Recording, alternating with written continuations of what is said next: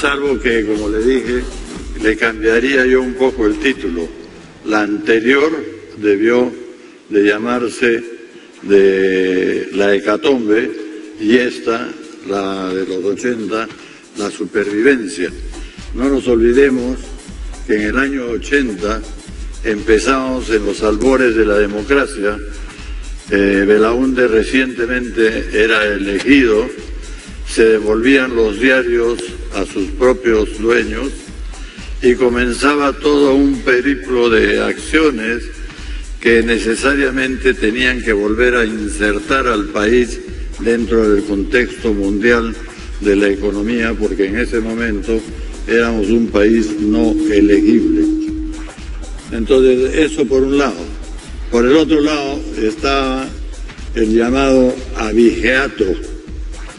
El abigeato que no terminó siendo abigeato, sino fue terrorismo y que todos ustedes conocen a causa cierta los estragos que trajo a consecuencia de su accionar en el Perú.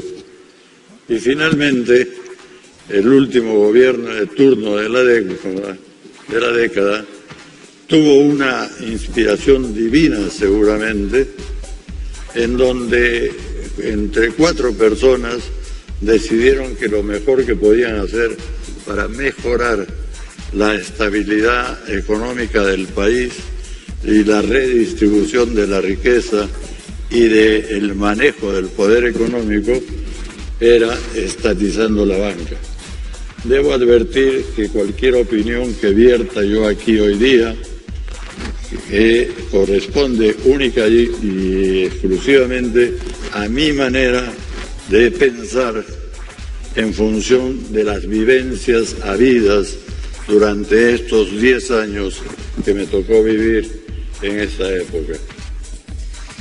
¿Cómo organizaron esa resistencia pacífica? ¿Qué, cosas hacían eh, cuando llegaron los interventores al banco? Primero, primero y antes que cualquier otra cosa, yo creo que no solamente para los efectos específicos de la estatización de la banca, sino para cualquier cosa que se quiera eh, emprender, hay tres lineamientos básicos sin los cuales no se puede llevar a cabo nada. El primero es estar convencido de lo que uno quiere.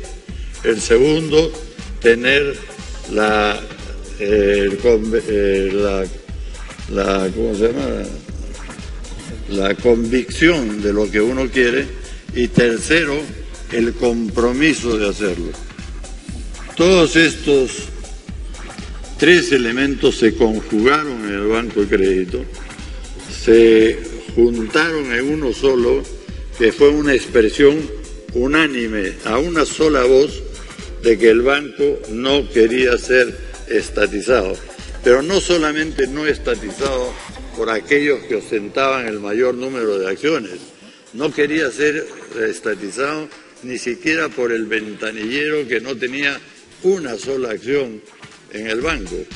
Era simple y llanamente porque él, esta persona del más último rango, había decidido pertenecer a una entidad estatal, eh, perdón, privada, que era la primera entidad privada financiera del país para la cual él había sido escogido y había pasado una serie de exámenes.